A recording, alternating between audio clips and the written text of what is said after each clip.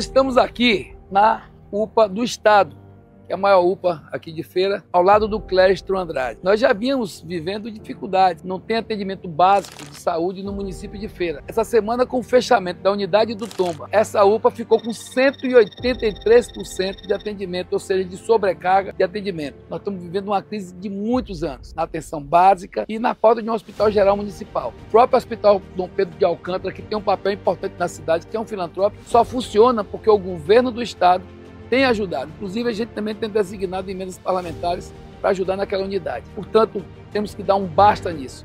Nós vamos fazer uma grande reformulação em toda a saúde básica do município e integrar essa saúde básica, o atendimento inicial dos pacientes, com a saúde que é feita pelo governo do Estado. A mudança que Feira quer é uma saúde de qualidade e uma saúde que possa dialogar com o Estado e melhorar a situação dos pacientes lá na ponta, no bairro, no distrito, no dia a dia, na comunidade. É isso que a gente quer uma saúde de qualidade para nossa gente.